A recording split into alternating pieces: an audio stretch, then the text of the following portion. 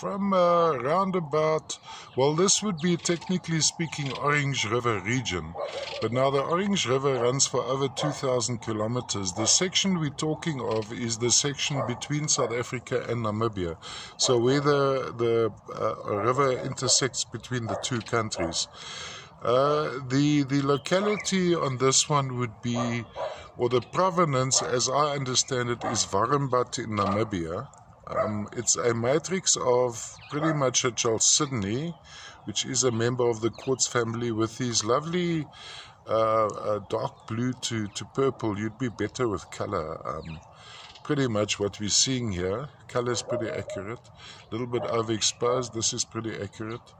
Uh, uh sitting on this uh, matrix of chalcedony. Only other associations I've ever found on this particular material are some hematite, or I mean goethite, hematite, oxidized hematite. Now, what's also very nice, if you look into the crystal faces. There's patterning in the crystals. You can see quite clearly on the top there. But on these smaller ones as well, they are very, very dark. So um, with a bright light, you'd actually have them glowing.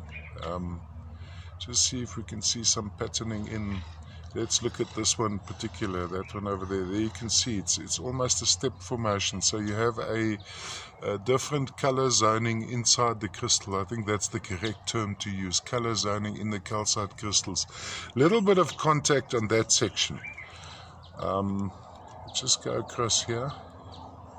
Let's have a closer look at that.